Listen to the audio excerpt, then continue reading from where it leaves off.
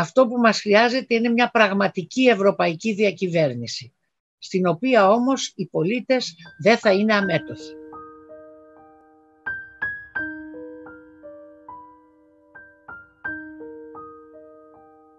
Στο Ευρωπαϊκό Κοινοβούλιο υπήρξε η Επιτροπή για τα δικαιώματα της γυναίκας και την ισότητα. Εγώ είχα υπάρξει αντιπρόεδρος της Επιτροπής αυτής, ε, όπου έγινε πάρα πολύ έργο ε, με σκοπό και την διάδοση των ιδεών που έχουν σχέση με την ισότητα.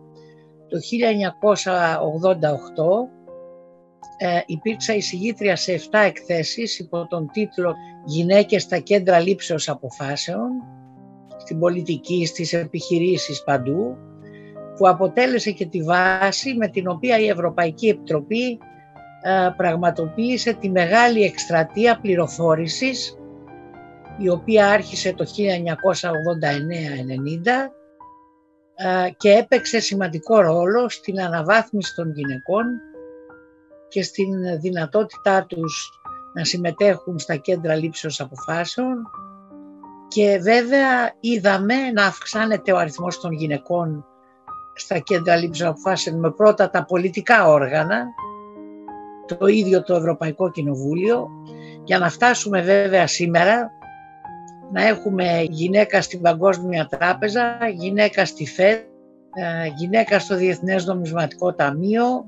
Η υπόλοιπη Ευρωπαϊκή Ένωση ωφελήθηκε από την ένταξη της Ελλάδας. Ωφελήθηκε ιδεολογικά.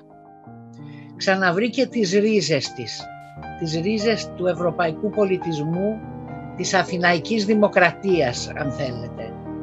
Και νομίζω ότι αυτό προσέφερε πάρα πολλά δεν πάβει η Ευρωπαϊκή Ένωση να μένει ένας μοναδικός οργανισμός, μοναδικός στην ιστορία της ανθρωπότητας, ε, ο οποίος έδωσε ευημερία, ελευθερίες, δημοκρατία στους λαούς που προηγουμένως μάχονταν μεταξύ τους με τα όπλα.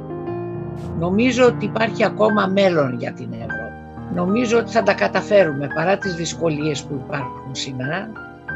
Ε, ε, ελπιστώ στη συζήτηση για το μέλλον της Ευρώπης και κυρίως αυτή που αφορά στη συζήτηση με τους πολίτες, με, με τον κόσμο δηλαδή, για να δούμε ε, ο κόσμος αυτός τι θέλει.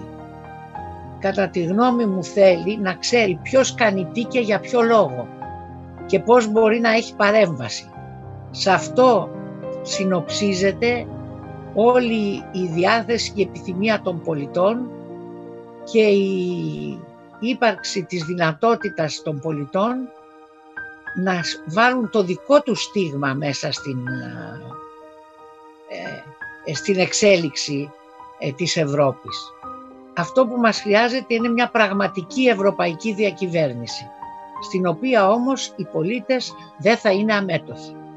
Η βασικότερη πρόκληση στο μέλλον ε, για την Ευρώπη είναι ένα σύστημα ε, που θα έχει ε, μία στέρεα εξωτερική πολιτική και πολιτική άμυνας και ασφάλειας που θα δώσει την ευκαιρία στην Ευρώπη να παίξει το διεθνή της ρόλο ανάμεσα στις Ηνωμένες Πολιτείες, τη Ρωσία, την Κίνα και τρίτες χώρες όπως η Ινδία που είναι αναδυόμενες οικονομίες αυτή τη στιγμή. Εάν αυτό δεν γίνει, δεν θα μπορέσει η Ευρώπη να παίξει αυτό το ρόλο και θα παραμείνει μόνο μια οικονομική και κοινωνική ένωση.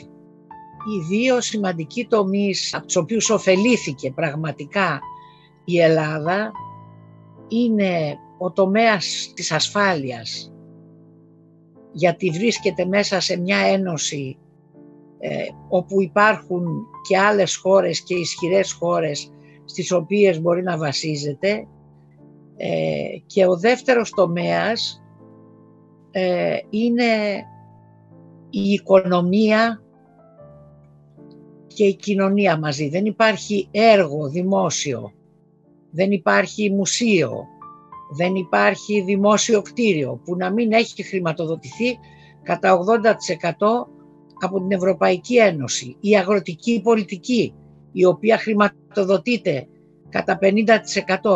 Μεγάλη υπόθεση. Η Ελλάδα άλλαξε. Δεν έχει καμία σχέση με την Ελλάδα πρώτης ένταξης στην τότε ΕΟΚ και μετέπειτα Ευρωπαϊκή Ένωση.